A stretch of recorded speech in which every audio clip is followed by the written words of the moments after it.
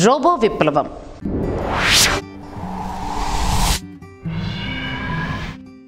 Silicon దేహం nylon వైర్లు మనకన్నా బాగా ఆలోచించగలిగే మేధస్సు ఉక్కు శరీరం.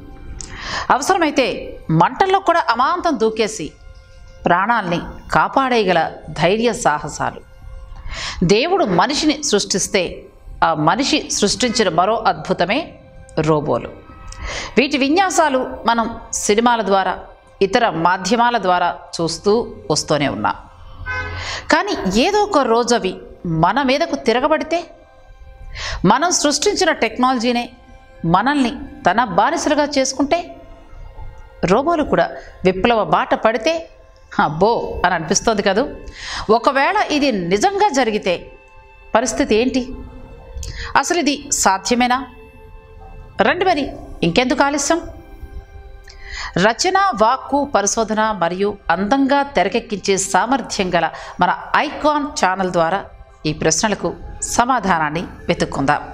రోబోట్ జాతికి పితామహుడుగా చెప్పుకునే ఐజాక్ అసిమోవ్ చెప్పిన ముఖ్య సూత్రాల ప్రకారం ఒక రోబోట్ మనిషిని కానీ ఇతర జీవకోటిని ఎట్టి పరిస్థితుల్లోనూ గాయపరచకూడదు. ఒకవేళ వాటి మీద ఇలాంటి దాడి జరిగినా కూడా అవి ఈ రూల్ని ఖచ్చితంగా పాటించాలి. ఒక రోబోట్ మనిషి ఇచ్చిన అన్ని రకాల సూచనలను ఇంకా ఆదేశాలను తప్పకుండా పాటించాలి. కానీ అది మొదటి రూల్ని అతిక్రమించకూడదు. అంటే జీవజాలాన్ని గాయపరచకూడదు చంపకూడదు కూడా. ఒక రోబోట్ తనని తాను ప్రమాద సమయాల్లో కాపాడుకోవచ్చు. కానీ అది మొదటి లేదా రెండవ రూల్ని దాటి కాదు. ఇవి ఐజాక్ రోబోట్స్ను సృష్టించడానికి ముందు ఎవరైనా పాటించాలి అని పెట్టిన నియమాలు. బాగానే ఉన్నాయి కదా. మరి ఇంకేంటి ప్రమాదం? రోబోలు ఇంకా సురక్షితమని తాపిగా కూర్చోడానికి లేదండి. ఏమో చెప్పలేం. అందరూ మంచిగా వీటిని తయారు చేస్తారు అని కూడా చెప్పలేం కదా.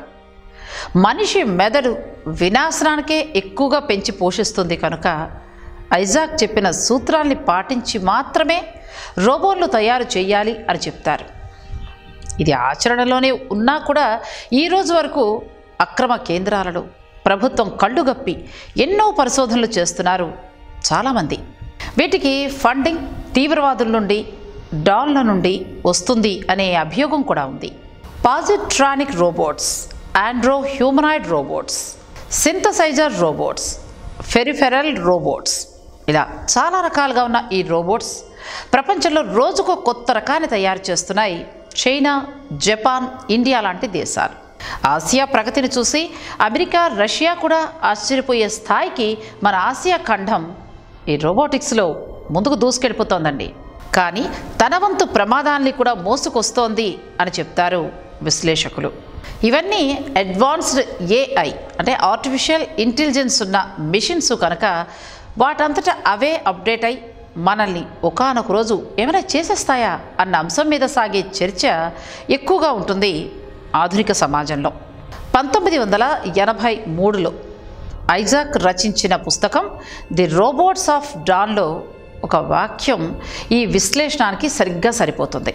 What if robots start thinking for themselves what if they see dreams లాంటి విశ్లేషణ మీద అధ్యయనంగా చేసే పరిశోధకులు నిజమే కదా? మనలాగే ఆలోచించే మెదడును అమరుస్తున్నాం. వాటికి శక్తిని తెలివితేటల్ని ఇస్తున్నాం. మరి ఏదో ఒక రోజు మనలాగే ఈ విశ్వం మీద ఆధిపత్యం రావాలని అవి కూడా ఆలోచించలేవా? అని మనం గ్యారంటీ ఇవ్వలేం కదా? అనే కోణంలో ఎన్నో కొత్త కొత్త ప్రశ్నలు పుట్టుకొస్తున్నాయి.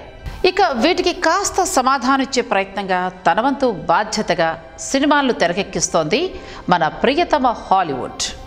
అందులో బాగా చెప్పుకోదగింది Wall-E Pacific Rim Real Steel Chappie Transformers లాంటివి. కానీ వీటన్నింటినీ దాటి కేవలం రోబో విప్లవం అనే కథాంశం మీద సాగే సినిమాగా మాత్రం ఇప్పటికీ ప్రపంచవ్యాప్తంగా అందరి ఫేవరెట్గా నిలిచిన సినిమా విల్ స్మిత్ నటించిన ఐ రోబాట్ ఇందులో దర్శకుడు అలెక్స్ ప్రాయస్ ఐజాక్ ప్రతిపాదించిన రోబోట్ రివల్యూషన్ను అద్భుతంగా తెరకెక్కించడమే కాక తన సృజనాత్మకత ఇంకా ఐజాక్ రచనలను కలగలిపి సాని అనే రోబోట్ను సృష్టించి ఒకవేళ రోబోట్లు ఎదురు తిరిగితే పరిస్థితి ఇలా ఉంటుంది అని మన కళ్ళ కట్టినట్టు చూపించారు. ఇందులో ముఖ్య పాత్రని పోషించే వర్చువల్ ఇంటరాక్టివ్ కైనటిక్ ఇంటెలిజెన్స్ అంటే వికీ ద్వారా అతను ప్రేక్షకులకు ఒక కొత్త రకమైన విప్లవాన్ని పరిచయం చేశాడు. ఇక అంత సినిమా నాలెడ్జ్ మాకెందుకులే అని అనుకునే వారికి ఉండనే ఉంది. రజని నటించిన రోబో. ఇంకా టూ పాయింట్ ఓ. కేవలం రోబోలే కాదు మితిమీరిన టెక్నాలజీ ఎంత ప్రమాదకరమో దానిని ఎలా వాడాలో తెలియకుండా విచ్చలవిడిగా డబ్బుకి కక్కుర్తి పడితే ఏమవుతుందో సామాన్యులకి సైతం అర్థమయ్యేలా అద్భుతంగా తెరకెక్కించారు శంకర్. ఇది చూస్తే చాలు రోబోట్ రివల్యూషన్ అనేది ఎలా ఉంటుందో మనకి క్లియర్గా అర్థమవుతుంది.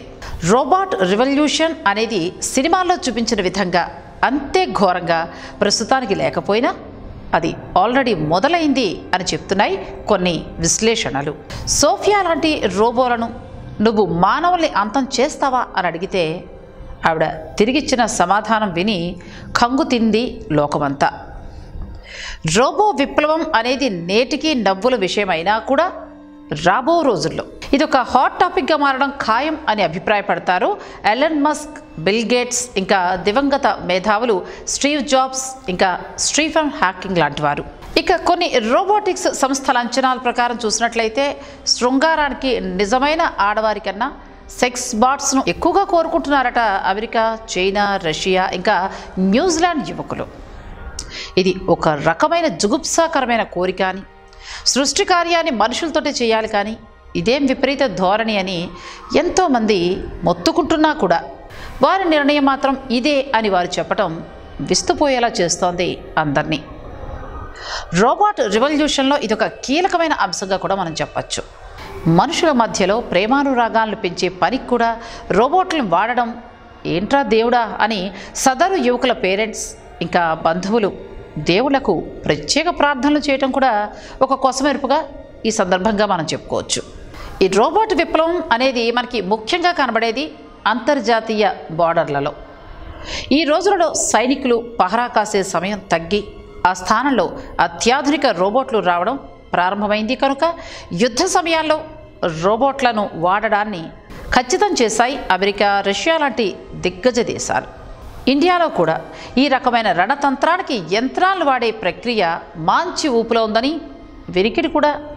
ఒకవేళ నిజంగా రోబోట్ రెవల్యూషన్ కనుక మొదలైతే అవి టార్గెట్ చేసేవి మన పిల్లల్నే.